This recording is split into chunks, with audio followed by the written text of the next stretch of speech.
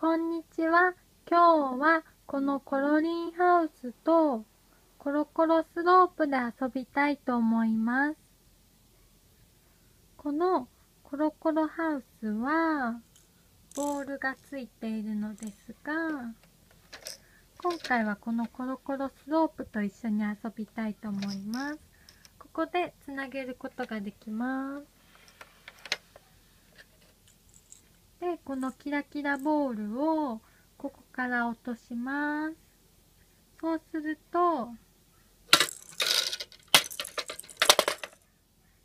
このようにドアから出てくるのですが、ここを通るときに太陽が動くので見ていてください。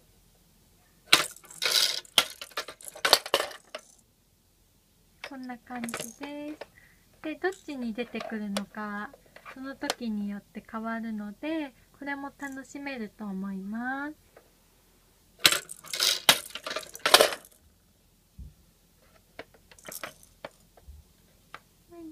あと、これはコロコロして遊べます。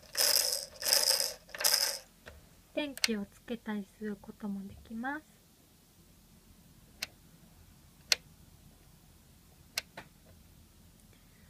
は引っ張ると元に戻るようになっています。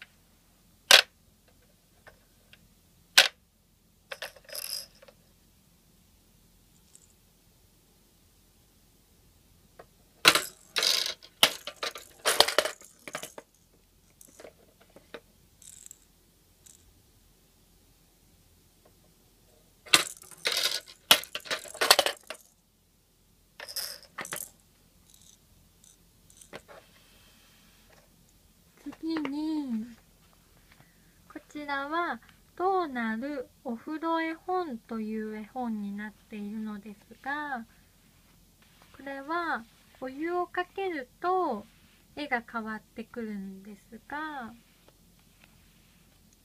例えばこの絵本を読んでというのにお湯をかけると絵本を読んだ後は寝るというようにこんな感じで。